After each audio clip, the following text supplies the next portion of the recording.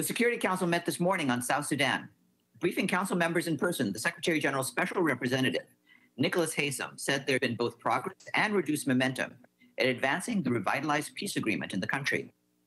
He pointed to positive developments, such as the fifth National Governors Forum late last month, which marked the first high level meeting of all members of government since the signing of the peace agreement in 2014. But Mr. Haysom said that while the steps taken so far in the implementation of the revitalized peace agreement are welcome, they're not sufficient if the peace process is to be sustained. He stressed the need for progress to be made regarding next year's elections and on the Constitution, and he expressed concern over the restrictions on civic space. Also addressing council members today was Wafaa Saeed, the director of the Coordination Division in the Office for the Coordination of Humanitarian Affairs. She said that the people of South Sudan have faced the highest levels of food insecurity since independence in 2011 and the renewed conflict, which began in 2013. She said that between April and July 2021, 7.2 million people were estimated to be at crisis phase, of which 2.4 million are at emergency phase. Rosemary DiCarlo, the Undersecretary General for Political and Peacebuilding Affairs, briefed the Security Council yesterday afternoon on Iran and the Joint Comprehensive Plan of Action. She reiterated the Secretary General's point that there is simply no viable alternative to the full and effective implementation of that plan of action. In this regard, together with the Secretary General, Undersecretary General DiCarlo appealed to the United States to lift or waive sanctions as outlined in the plan and extend the waivers regarding the trade in oil with Iran. She also called on Iran to reverse the steps it has taken that are not consistent with its nuclear related commitments under the plan. Turning to Syria, an estimated 3.4 million people need humanitarian assistance in the northwest. Ongoing conflict in some areas the economic crisis, COVID 19, and difficult winter conditions are increasing needs. All response modalities are needed to assist people in need. Aid must also be delivered in a more sustainable manner. The UN has an operational plan to send regular and predictable deliveries of assistance from areas under government of Syria control across conflict lines to reach the northwest. Two convoys of 14 trucks each have already moved assistance cross line to a warehouse in Idlib distribution of the cross-line aid is expected to begin in the second half of December. Cross-line convoys, even if deployed regularly, cannot replicate the size and scope of the cross-border operation.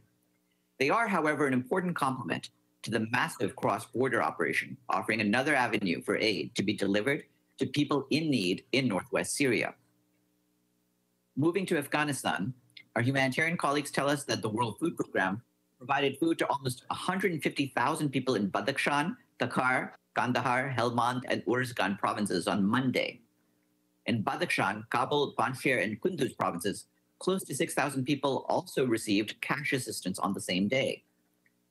Our humanitarian colleagues also tell us that yesterday, four civilians were reportedly injured after an unexploded ordnance detonated in Garmsir district, Helmand province. Also yesterday, an unconfirmed number of civilian casualties were reported with an improvised explosive device detonated inside a mosque in Shinwari district, Nangarhar province. On the liquidity crisis, our humanitarian colleagues tell us that 100 food shops and commercial businesses remain closed in Jalalabad city, due to the devaluation of the local currency and high food and commodity prices. In 2000, to, in 2021, donors have provided nearly $1.5 billion for the two humanitarian appeals for Afghanistan.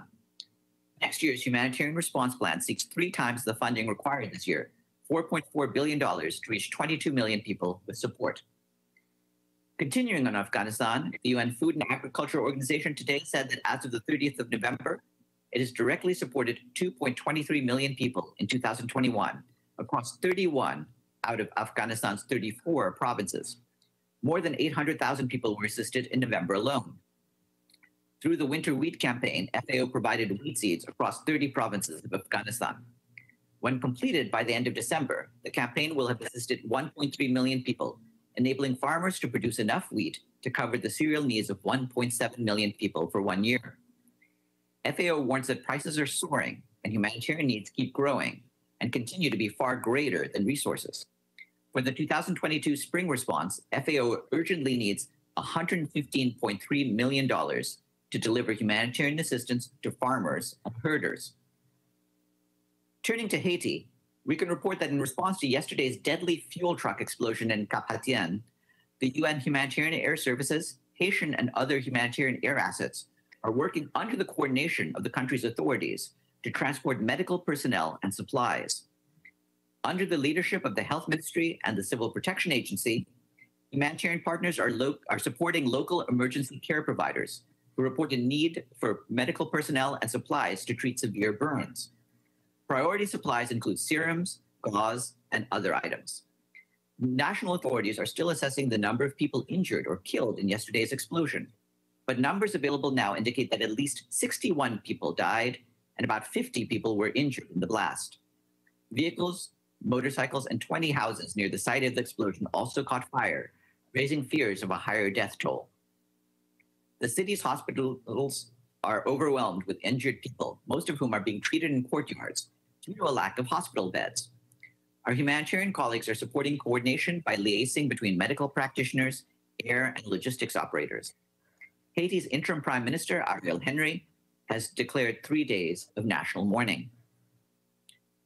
And I have a COVID update for you today from Nicaragua, which received more than 800,000 vaccine doses through COVAX that have been donated by France to vaccinate pregnant women, postpartum women, and mothers who are exclusively breastfeeding.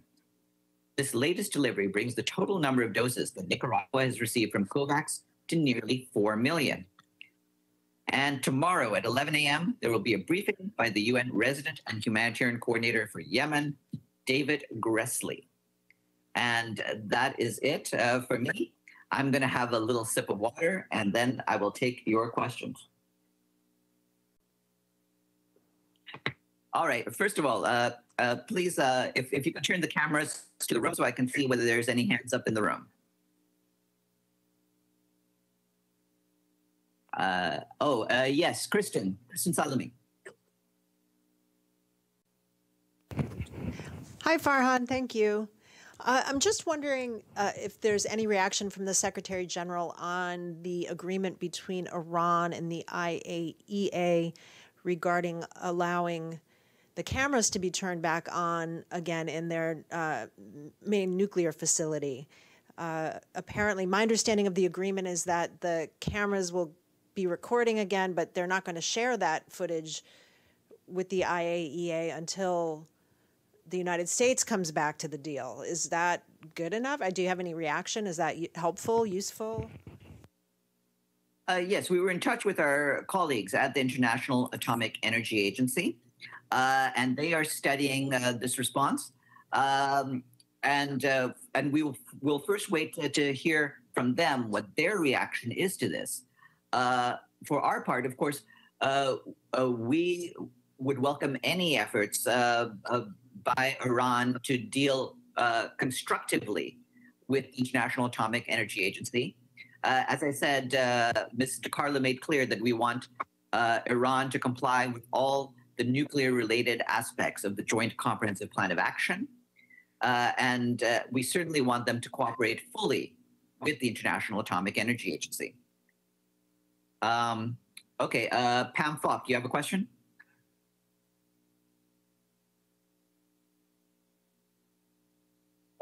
Sorry. Um, yes, uh, on the Friday, thank you, Farhan. On the Friday, uh, Ethiopia special meeting of the UN Human Rights Council, will the Secretary General participate or someone from UN headquarters? And what do you expect to come out of it? Thank you. Well, uh, we'll we'll leave it to our um, our colleagues in the Office of the High Commissioner for Human Rights to deal with what they want to come out of the uh, Human Rights Council meeting. Uh, obviously, it's very um, important that uh, the human rights situation in Ethiopia be examined and examined thoroughly. Uh, I, I, I don't um, I, I, don't uh, have any um, confirmation of any participation by the Secretary General on that, and indeed we may have announcements about his uh, future program in the coming days to announce uh, a little bit uh, farther down the line. But uh, but there's nothing to announce just yet on uh, on what he's doing. And I'm sorry, as a follow up on that, Uh, can you give any updates on the trucks and the fuel that had been uh, uh, confiscated and the fuel deliveries uh, stopped to Tigray? Well, we we've been uh, in touch with our humanitarian colleagues. There there uh, there has been progress in terms of uh, of getting food in, but fuel remains a problem. Uh, but certain things, in, including food and uh, medicines for malaria, have been coming in. Um, but until we have a regular supply of fuel coming in, it's hard to distribute it uh, uh, to all the places it needs to go. So, so we're continuing to be in touch with authorities, and we're trying the best we can to make sure that we are able to to uh, deliver to all the places we need to go. Thank Uh, you. For, Thanks, uh, James Reinl. Hi, Farhan. Can you hear me? Uh, yeah, Oh, great, thanks. Yeah. Um, the US um, released information today about a $10 million deal between Mali uh, welcoming the uh, Wagner uh, mercenary outfit uh, into the country. Um, is this something that the UN has any information on? And also, is it something that part of your apparatus, for example, the human rights team in Geneva or the panel of experts, might be monitoring? Uh, I, I don't have any uh, comment on this latest development. Uh, we've made uh, clear what our concerns are about uh, about the presence of foreign mercenaries, and that position uh, remains unchanged. Uh, Joe Klein. Uh, yes, thank you. Um, you, you mentioned some comments from Undersecretary uh, DiCarlo.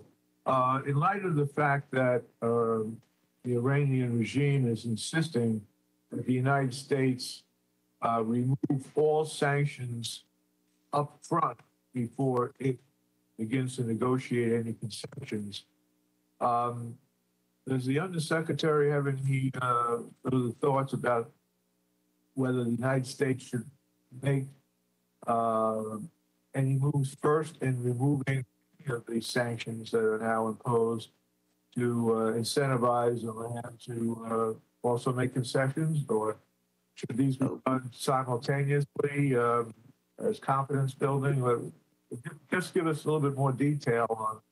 Uh, in context of what she has in mind in terms of what she's calling upon the United States to do.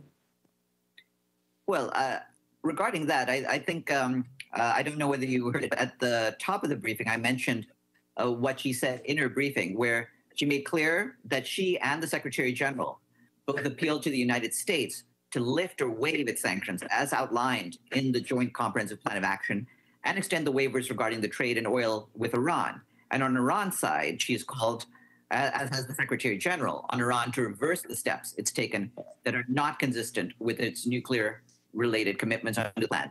And of course, uh, uh, I believe we've uh, provided uh, the full transcript of what she said, and and uh, I and that uh, goes into the details about what we want to see. No, I, I understand that, but I'm trying to drill down a little further because uh, the question is sequence here. Iran is insisting that the United States go first, not only to remove some of the sanctions, but all the sanctions. So even if we're talking about any of the sanctions you just mentioned, oil, waivers, and so forth, uh, to break the logjam, she and the Secretary General believe that the United States, through from the JCPOA, should move first. That's my question. Uh, Yeah, and and regarding that, obviously the parties themselves are in discussions, and we're leaving them to discuss further how they will deal with this. Uh, what our guiding principles are, and and what we want to see out of this, have been spelled out very clearly by Rosemary DiCarlo, and I'd refer you back to what she said. Uh, Abdul Thank you, Farhan. You know, the tension between the Russian Federation and Ukraine is growing higher and higher. Is the UN Secretary General involved in any way? Did he try to contact the parties? Is he doing anything on that crisis? Well, what what we're doing, we're not directly involved in this, but we have been urging all concerned parties to remain focused on resolving um, uh, differences through dialogue at all levels, de-escalating tensions, and safeguarding regional peace. we remind all stakeholders of their responsibility to ensure a peaceful settlement of the conflict in accordance with the Minsk agreements as endorsed by the Security Council in its resolution 2202. Thank you. Thanks. And uh, I see no further questions, so uh, I will turn the floor over to the spokesperson for the President of the General Assembly, Paulina Kubiak. Paulina, over to you.